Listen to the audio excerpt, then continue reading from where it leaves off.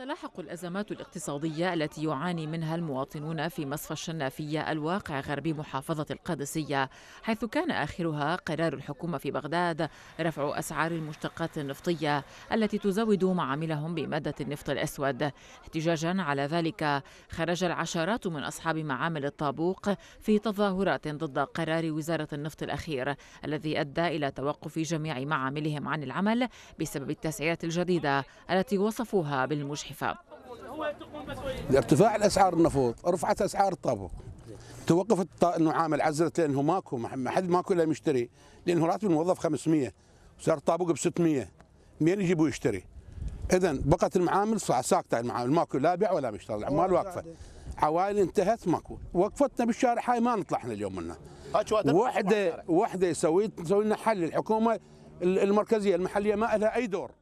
وبدلا من أن تسعى الحكومة في بغداد إلى رفع إنتاجية المصانع وتشجيع الصناعة المحلية العراقية. يرى المتظاهرون أنها تضع العصي أمام عجلة التقدم في البلاد عبر فرض قرارات من شأنها تعطيل التطور الصناعي والتجاري كما أن القرار الأخير الذي تسبب بتوقف المعامل عن العمل أدى لخسارة المئات من العاملين لمصادر رزقهم. إحنا آخر مفصل نهيتونا ونهيتوا البلد كله. فمثل ما جاي حاججهم وأنا هسه جاي أقول لهم جاي تفلش الصناعة وتدمر الصناعة بالبلد.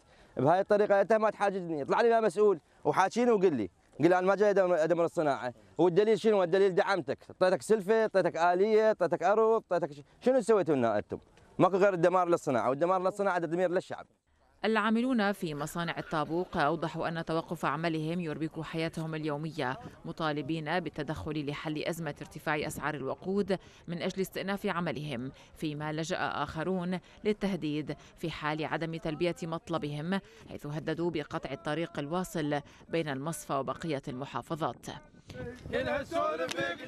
ولا أي تعامل ماكو وقاعد يتعاملون بتعامل يهددونا بالقوة والسجن ويهددونا بتهديدات غير لائقة بنا كشعب. ما مضامين ويانا إيه. ما وقد راح تصير مشكلة هسه.